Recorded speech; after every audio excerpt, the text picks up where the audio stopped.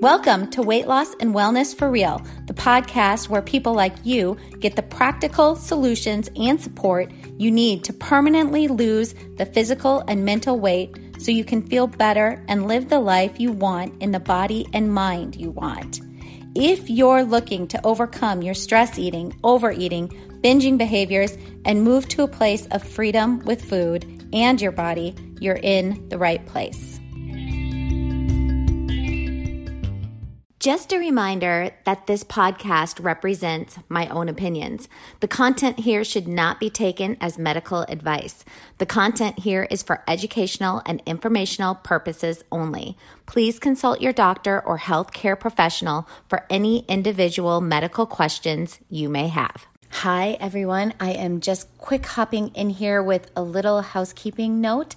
I wanted to let you all know that this podcast, new episodes are going to be released every Monday morning from now on instead of Friday morning. So keep that in your head. Remind yourself you will have another one coming out on Monday mornings from now on. If you are subscribed, you will automatically get the, the, next episode coming to you. So it's not something you need to really remember. But maybe for those of you who are not subscribed and just pop in and out on Fridays um, to listen, just to let you know, they will now be released on Monday mornings. All right, enjoy the rest of the episode. Hello, friends, and welcome. This is the podcast Weight Loss and Wellness for Real. And today we are talking all about habits and how they really, really can help us as our body ages. I am a big proponent of focusing on habit change and implementing new habits um, really as the key to losing weight, to optimizing your health, and to making it last. I'm really convinced of this after years of working with clients to lose weight and optimize their health as well as my own personal experience with lots of restriction and over exercising and yo yo dieting and trying the newest diet trend um, and never really getting the results that I was satisfied with. And so, we're going to talk about how that habit change uh, is is really important as we age and and to be able to lose weight and to be able to stay in maintenance for the rest of your life. We're going to talk about that today. I'm going to go through a little bit, but then get really specific towards the end as to what are exactly the healthy and nourishing habits if you're trying to lose weight or you know you want to maintain weight well into your 70s, 80s, 90s. Uh, really the specific ones that, in my opinion, are probably the most important on a practical level. Now, I have things that I think are really important in regards to um, mindfulness practice, uh, our, our spiritual practices, um, things in regards to our mindset, how we think, our thought work, all those kinds of things that also really propel our health as we age. But for today, those practical tips I'm going to give are simply going to be on things like food um, and uh, eating behaviors and, and those sort of things. So stay tuned uh, to get to that really practical part. I wanted to tell you about a company I recently used and that you may be interested in using as well. It is called Five Strands, five, the number, and then S T R A N D S, five strands. And it is a test to learn about food intolerances, environmental intolerances, and it can give you lots of really good information on how your body is currently responding to your diet. So it can identify food or environmental intolerances and then you can kind of temporarily remove these things from your diet and make lifestyle decisions around that in order to reduce inflammation, to feel a bit better. Uh, this isn't about allergy testing. This isn't the same if you were to go get allergy testing through blood. This is uh, simply about a different process they use that help to identify not allergies, but simple intolerances to foods that you currently may be eating and things in your environment. And then once you have that knowledge, the idea is you can go into an elimination diet and take all those things out at once. Versus if any of you have done an elimination diet before, when you're trying to figure out what's working for you, what's not, you know, it may be something like you take out all dairy, you have to wait four weeks to see how you respond, then you take out another thing, then you. So it's just this really long process of trying to figure those things out. This is just a really quick, simple, easy way to get that information and eliminate all those things at once. And then the idea is you do slowly add them back in once your body, um, the inflammation has calmed down, your body's ready to respond to them again. So, this isn't about eliminating these foods forever and always. It's simply about taking them out for a time period to really optimize your health, maybe even lose some weight, and then um, slowly adding them back in. And the test is so easy because you just send in some strands of hair, hence the name of the company, Five Strands. You just send in some hair, you get results back within five to seven days. The other reason I, when asked, agreed to work with this company was because their customer service was so amazing. Any questions you have, um, anything like that, they are just friendly, very knowledgeable. Um, I just really, really appreciated their this to me was like old school customer service.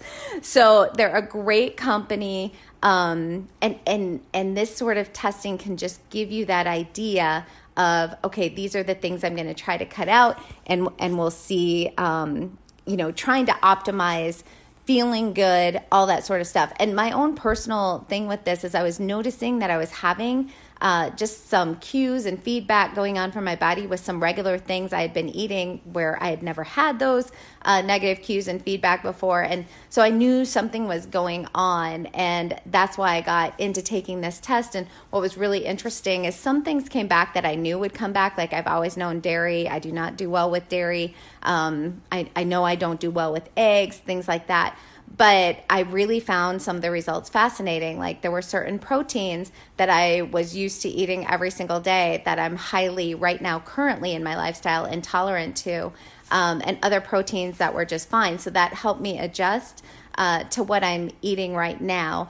Another thing that was really interesting is I always thought I was really intolerant to red wine, but could was fine with all clear alcohol like vodka, um, all that kind of stuff, and Actually, according to this, uh, all clear alcohol is not good, but I am totally cool with red wine. So things like that were really, really fascinating to me and also just helped me create sort of this elimination diet plan for about six weeks that I'll be doing and uh, just just gave me all the information in one shot. So I highly, highly recommend them if you are looking to optimize your health it's a quick and easy test to just get more information. I really do hope you give it a try. I just believe more knowledge about our bodies and how they are working is such a key in gaining that optimal health. So, if you want to give them a try, you can head over to fivestrands.com. Again, it's the number five and then S T R A N D S.com. And when you go to check out, put in my name, Heather Heynen. H E Y N E N, and you're going to get a nice discount. If you are someone who gets focused on simply trying to lessen your calories or counting calories, and this is most of us, by the way, over the years, um, I've been there too, where the focus is very much on just trying to lessen calories, restricting, counting calories, taking away certain foods, uh, over exercising in order to lose weight or stay in maintenance, or Maybe you're someone like I used to be, you follow the newest diet trend. Um, that focus on that can help us lose weight and get healthy for a short amount of time. But it is rare that these sort of methods will last long term. What's even more rare um, is that you enjoy that process, right? I mean, how miserable. I'm just thinking of the times I've been so miserable when I was restricting food or restricting uh, treats that I loved. Um, and I was over exercising all the time just to try to be able to step on that scale every morning and have that number on a place to a place that I, I thought it needed to be to be worth anything to anyone. So restriction, rules, starving, over exercising, this this is just in my opinion, no way to live. You know, we can kind of get and feel excited for a week or two or even a month, like doing a new plan and, you know, following the going keto or, um, you know, low carb, like following any new diet phase. Even, and I have a podcast on uh, flexible fasting. So, I'm, and I'm even talking like you get on the bandwagon with intermittent fasting, but it's miserable for you. Um, that's when you know, it's fun at first. And then a week, two weeks, a month doing this, the weight does come off. But over time, we cannot keep it off. And that's when the behaviors stop and things really start to backfire and weight comes back on. And then we've got that shame cycle, the guilt, you know, of like, oh, I can't believe I let this weight come back on. I let all my behaviors change. And so then there's more overeating to compensate for that shame cycle. And I talk about the shame cycle enough in this podcast as well as self sabotage that if you've been listening, I'm, I'm sure you know what I'm saying here that shame cycle, that self sabotage cycle restricting does not work long term. So the difference, um, the difference to the trendy diet following, the yo-yo dieting, the restriction, and the maybe the over exercising, and also the long-term solution, which becomes even more important as we age and as our bodies change because they do.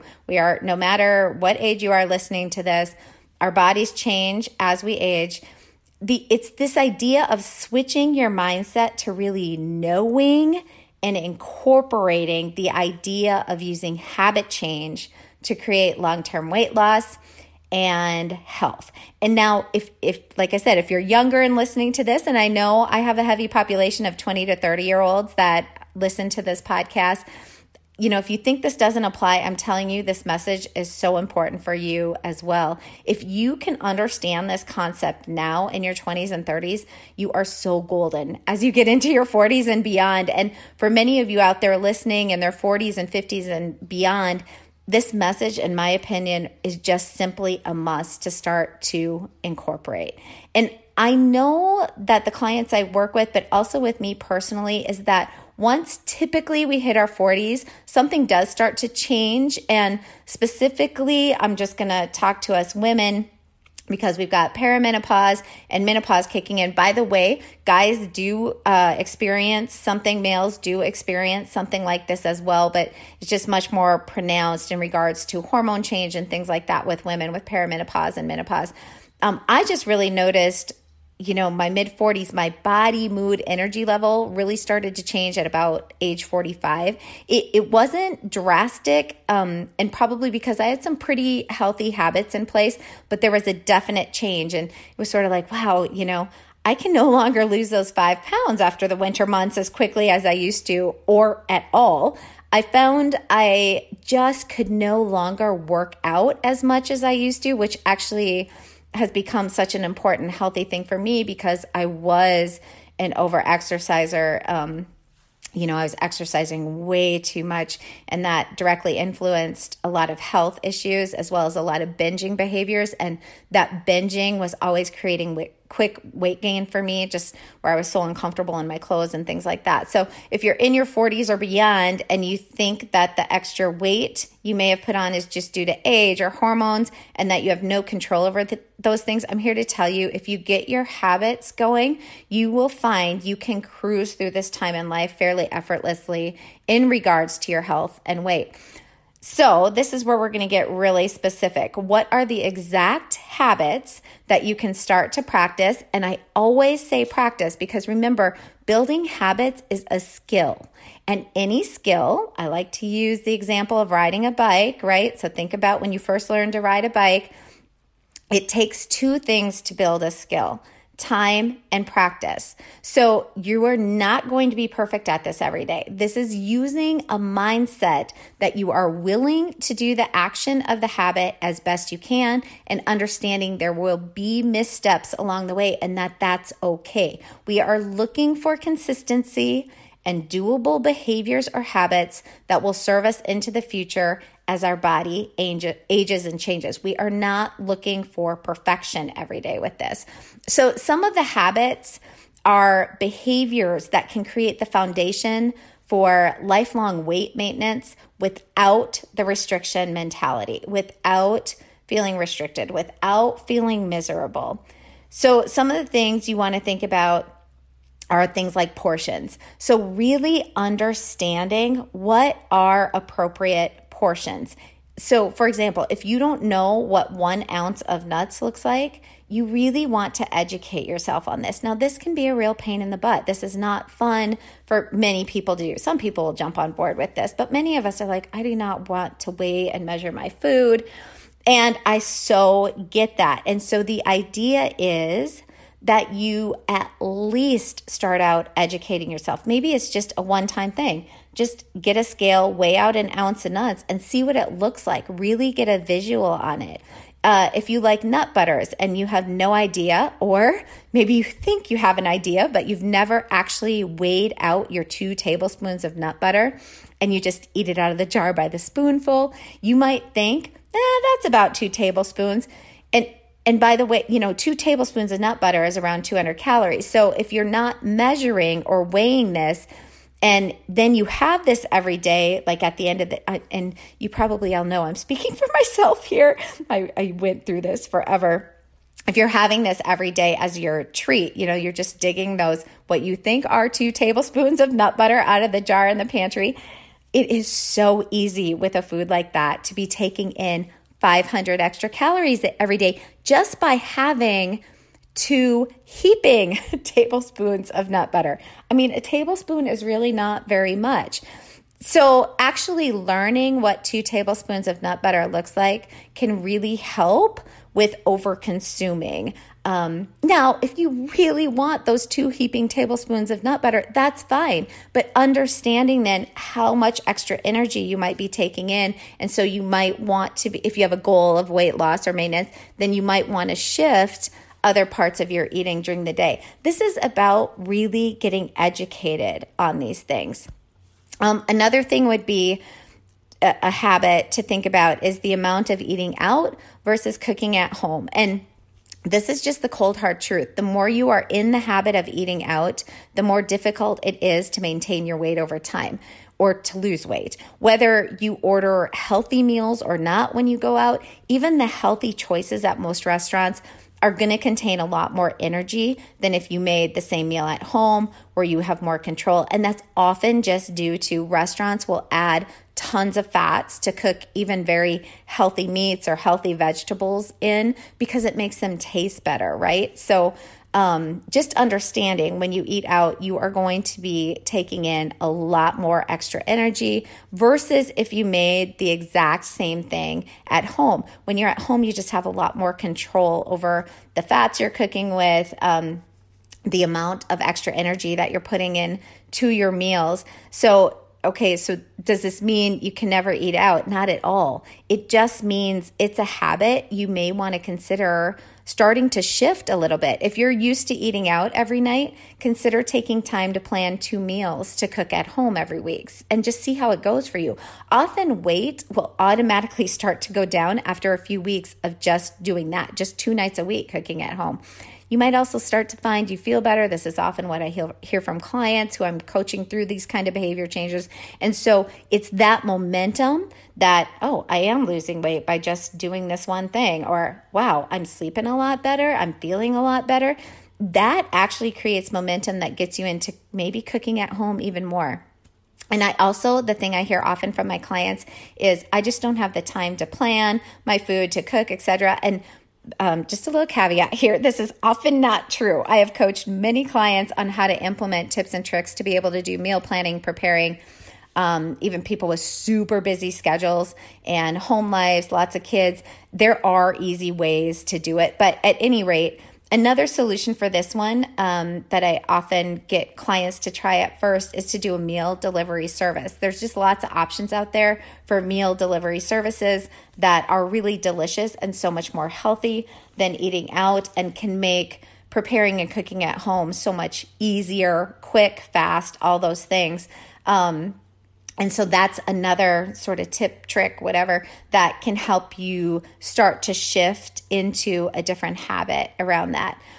Um, planning, right? Planning our food, planning our drink. It's another habit that will serve you over a lifetime and get you to your goal and keep you in maintenance for life. So we know that planning our food, our meals, having our healthy, nourishing food ready to go, this is also a skill that can turn into a habit and that will again keep your weight where you want it to be. And some people really, really hate planning. I actually have times throughout the year that I really enjoy it. This is often during the winter months when, um, I don't have as much, you know, I love to be outside and do activities outside. So during the winter months, you know, that's that shifts a little bit. And so I actually kind of enjoy looking at recipes and um, you know, doing a little bit of planning. But there are times I cannot stand planning my food. I, I don't even want to be like, I just want to eat what I want to eat during the day, what I'm feeling like in the moment. This often happens during the summer months. Um, I'm actually in that space right now as uh, spring is coming around, and you know, I just don't, I just don't feel like it. I don't feel like planning meals or anything like that. But I, I have learned over time, I have built this skill on how to have the bare minimum planned and prepared. So even though when I don't feel like planning full meals, um, all those things, I, I've built the skill of having things pre pre prepared, if you will, in my freezer, in my fridge, in my pantry to really keep things rolling smoothly for me. I, have learned the pre made things to buy at the grocery store and to have available. I, I know through building this skill how to throw together a really delicious, nourishing meal with things that I already have in the freezer, in my pantry, etc. And you know, like I said, this has been this has taken time for me. It's been developed over years as I've tried. You know, I've misstepped. I've learned from this mis- missteps and created new habits out of those um, missteps and out of learning out of that those experiments that support my health. And so now it's actually i'm not saying it's always easy but most of the time it just takes no effort for me anymore because it's just habit. It's habit what i buy at the store. It's habit what's kept in my freezer. It's habit what's in my fridge. It's habit what's in my pantry. And now it's habit of just like, I don't really need to plan if I don't want to, but I can absolutely create a very delicious, healthy meal um, out of what I just happen to have. So that's another skill that can be built.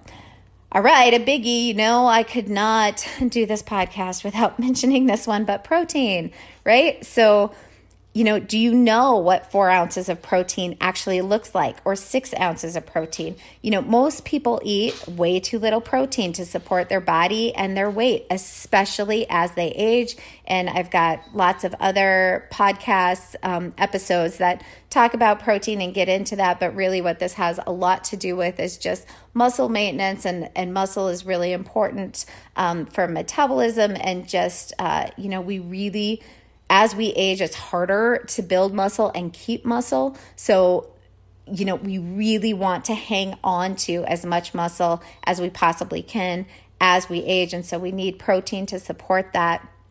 What I see many clients do is they think they're eating the amount of protein that they need to eat at each meal for their optimal weight loss goal. But when I ask them, you know, to weigh that amount um, that they're eating, it's often half of what their particular body needs. And this is often just because many people would rather eat less protein and fill up on carbs and fats. Um, most people just have a taste preference for carbs and fats and not necessarily protein. So they often eat less protein and just believe they are eating the right amount for their body. And so most people have that, you know, difficulty getting protein into their diets because they just haven't done it before.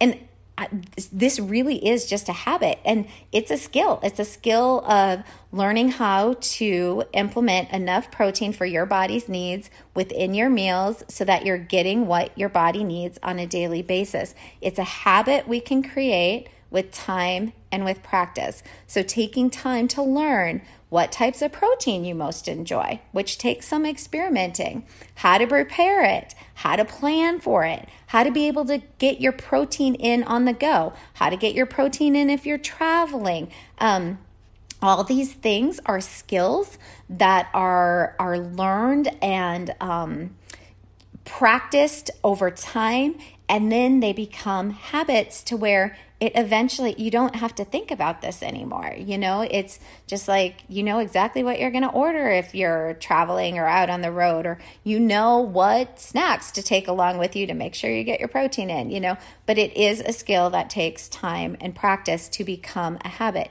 But they do turn into habits and then you are really set for life in maintaining your weight Another one that's really important is staying mindful, and this may include tracking what you eat for a while. So, although most of us don't want to do this for life, we don't want to track, we don't want to um, really pay attention. It's a pain in our butt. It takes time, although apps these days make it a lot easier.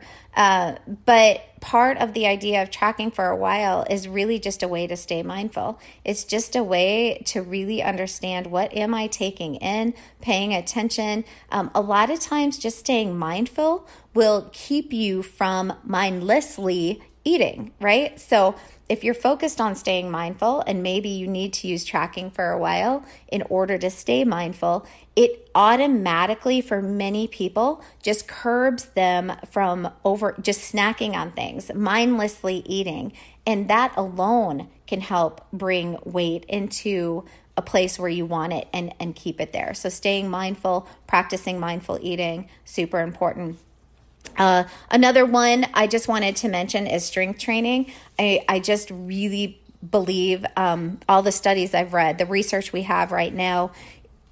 If, if you're going to put into practice some type of movement practice and you have a short amount of time or you maybe don't enjoy any of that, but you're willing to try something, I really, really would recommend strength training. And that might mean, um, you know, you need to, maybe that means you get a personal trainer for a bit, or um, you go to some group classes in order to really learn proper movement and form and all of that. Uh, but strength training can also be done at home just with body weight, uh, all those kinds of things. You can YouTube some things.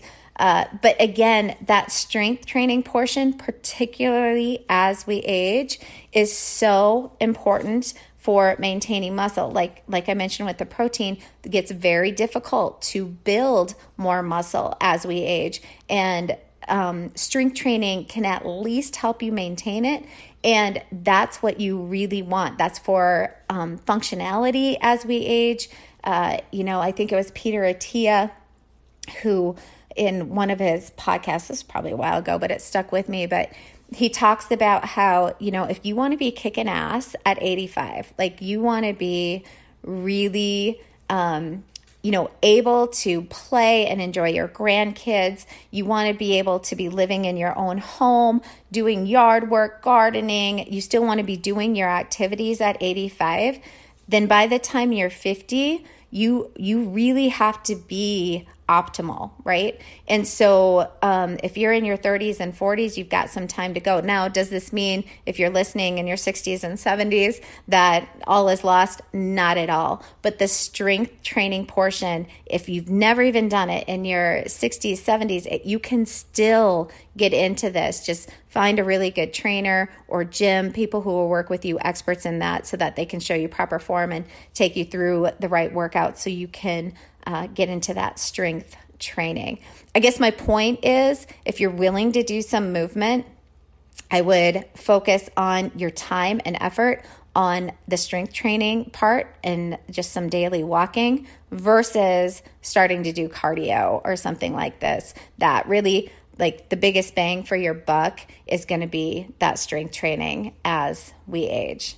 And then finally, just this goes back to, I'm kind of repeating myself here, but back to the mindfulness stuff, just really paying attention to things like treats, to alcohol, to eating out. So just starting again to be really mindful of all these things, starting to pay attention, just starting to pay attention can really, really help shift you into these new habits. All these things are habits that we can work on. They are all skills. They are all a learning process that remember takes practice and time. So we're looking at working on consistency and not perfection. What one other little thing I just wanted to throw in because I talked about calories, but you've heard me before talk about you know, maybe counting calories is not the, excuse me, best way to lose weight you know, I just always reiterate calorie intake does matter, okay? Energy intake does matter. If we are overeating, we are taking, and if we are gaining weight or not losing weight, we are taking in too much energy for our body's needs. But focusing on calorie counting long term for most of us is not the way we want to live. Most of us would like to not have to track calories on a daily basis. We'd like to just feel free from a focus on weight and food to just enjoy food, enjoy our bodies, and have relief from that weight and food chatter that many of us have been and might still be really plagued with. So, focus on what you do have control over. Things like more protein at every meal. And again, this can take years to get this into a habit. That's okay. But starting today and starting to create that consistency and working on the skill to create the habit is really important. You do need time to find the, like I said, the proteins you actually enjoy and how to incorporate them easily. Um, and, and these are the types of things that really help my clients figure out more quickly with different ideas on how to do this in a way they can actually enjoy. When you focus on building all these habits, on creating these habits, on creating these new skills so that they become habits, eventually they are habits. and if you really think about what habits are, habits are so much easier to work with, right? Because they're automatic behaviors. You don't have to use willpower to do habits. And, and this is the goal. This is zero restriction, no more yo yo dieting, no more food weight chatter, so we can really focus on the other values we hold in this beautiful gift of a life that we have been given. If you have a weight loss goal and or you're wanting to maintain that weight and health as you age, focus on building these healthy and nourishing habits now, no matter what age you are currently at. I hope you found something useful, and if so, as always, would you please share it with someone else you think might find it useful? It really is the best way. Um, this podcast is growing organically, and it really is because you are sharing these things with others. Any posts on social media that you can do to tag this podcast in is super helpful as well. Um, I just really, really appreciate all of you listening, sharing this space with me, and we will talk soon. I hope you are finding something useful from these episodes and this podcast. And if so, please share it with someone else in your life you feel it could benefit. This podcast is also now monetized. So if you really feel you are getting a lot from it and want to help keep it going, please go to the episode show notes. You can just scroll down from wherever you're listening. You'll see a description of the episode and then you will see it says support this podcast. And then there's a link you can click on. You can click on that link, and that's where you can support the podcast. Even the smallest donation, like 99 cents, helps to keep me producing the podcast. And to those of you who have donated, I really, really appreciate the support. I really do appreciate all of you listening and sharing the space with me. Again, just very thankful for all of you. Did you know you can find a lot more help from me on my website? Go to heatherheynen.com. Heynen is spelled H E Y N E N, and get in touch with questions on all things I offer, like online courses for overeating, weight loss, goal attainment, and also my coaching and counseling services.